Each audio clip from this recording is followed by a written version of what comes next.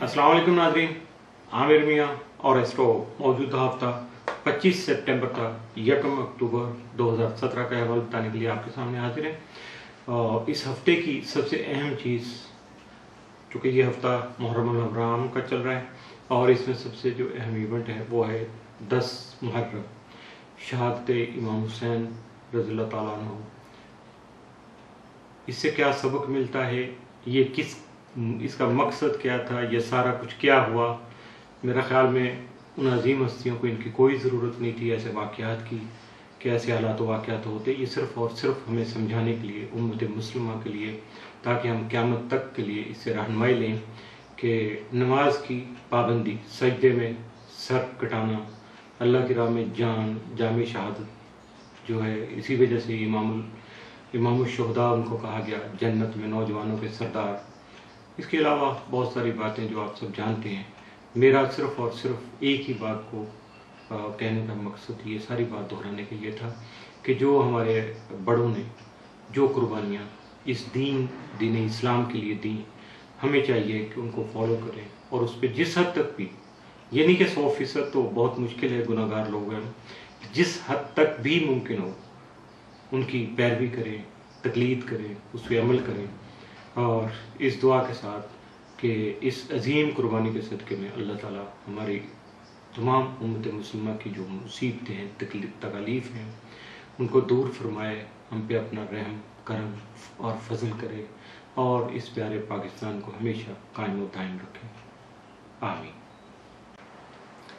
بات شروع کریں گے اب موجودہ ہفتے کے دوسرے حصے کی، جس کا آغاز کریں گے برج سرطان سے، کینسر، موجودہ ہفتہ کا عمومی جائزہ۔ آپ کا حاکم سارا کمر اسما برج اکرم میں پچیس سپٹمبر کو اور برج جدیم انتیس اور تیس سپٹمبر کو ہوگا، جو کہ انتہائی نئے ایام جو ہے وہ شمار کیے جاتے ہیں۔ اس لیے ان ایام میں آپ کو نہ صرف اپنے آپ کو محتاط رکھنا ہوگا، بلکہ صدقات بھی ادا کرنا ہوں گے اور اس کے ساتھ ساتھ اپنے اس میں عظم کی تکرار بھی کرنا ہوں گے اور اللہ کی طرف رجوع کرنا ہوگا۔ موجودہ ہفتہ کا تفصیلی جائزہ۔ پچیس سپٹمبر کو کسی خوشگوار سماجی تقریب میں شرکت کر پائیں گے۔ چھبیس سپٹمبر کو ملازمت پیشہ جو افراد ہیں وہ اپنے سماجی پروگرام پر عمل کر سکیں گے، جبکہ شرکہ حیات سے تعاون کر کے آپ اپنے مقاصد کی بہتر طور پر تکمیل بھی کر پائیں گے۔ ستائیس سپٹمبر کو مستقبل کے لیے پروگرام مرتب کر سکیں گے، جبکہ اپنی خود اعتمادی سے کامیابی بھی حاصل کر سکیں گے۔ اٹھائیس سپٹمبر کو جاری کاموں میں بہتر نتائج کے لیے آپ کو سخت محنت کی ضرورت جو ہے وہ پیش آ سکتی ہے۔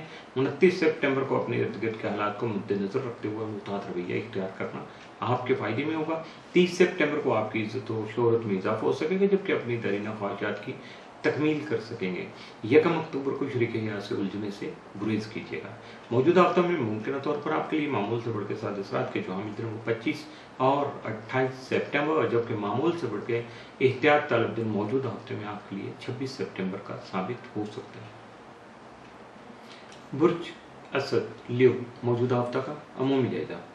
آپ کا حاکم سر شمس تیئیس سپٹمبر سے زائدہ کے تیسرے گھر میں کیا پذیر رہے گا؟ ایسے میں اگر کوئی سفر بہت ضروری ہو تو صدقات دے کر اس سفر کی ابتدا کیجیے گا۔ علاوہ جی عزیز و کارب اور بہن بھائیوں سے جو آپ کے جاری تعلقات ہیں، وہ خاص احتیاط طلب رہیں گے۔ آپ کو بہت زیادہ جذباتی نہیں ہونا ہائپر نہیں ہونا، ہر چیز کو سنجیدگی سے، تحمل سے سننے کے بعد اپنے دماغ کو ٹھنڈا رکھتے ہوئے کچھ فیصلے کرنے کی اگر ضرورت پیش ہے تو ضرور کیجیے گا۔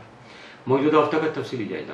پچیس سپٹمبر کو بچوں کی تعلیم کی طرف خصوصی توجہ دینے کی ضرورت ہوگی جبکہ خود اعتمادی سے کام لے کر آپ اپنی موجودہ پوزیشن کو مستحکم بنا سکیں گے۔ چھبیس سپٹمبر کو ملازمت پیشہ افراد کو ملازمت میں ترقی کے مواقع مل سکیں گے، لیکن اپنی صحت کا خیال رکھنا بہت ضروری ہوگا۔ ستائیس سپٹمبر کو خواہش مند افراد کی شادی خانہ آبادی طے پانے کے ساتھ ساتھ رومیز کے مواقع بھی میسر آ سکیں گے۔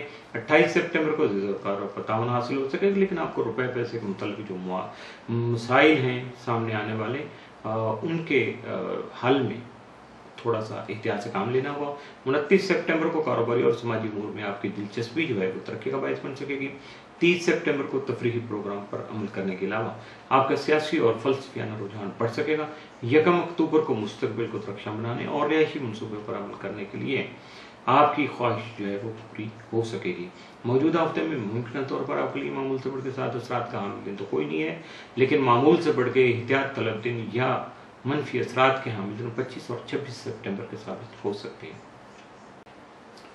برج سملہ ورگو موجودہ ہفتہ کا عمومی جائزہ آپ کا حاکم ستارہ تارت گیارہ تا تیس سپٹمبر حالتی عروج میں ہوگا اور شرفی درجات سے گزرے گا۔ تو کئی ایک مسائل کا مثبت آپ کو یقیناً مل سکے گا، جس کی وجہ سے معاملات زندگی میں خوشگوار تبدیلیاں آ سکیں گی۔ پچیس اور چوبیس سپٹمبر کو تارت زول تربی ہونے کی وجہ سے حالات میں بہتری کے لیے اپنی سوچ کو پازیٹیو رکھنا آپ کے لیے بہت ضروری ہوگا، کیونکہ کاموں میں، جاری کاموں میں کچھ التوا ہونے کی وجہ سے وقتی پریشانی سامنے آ سکتی ہے۔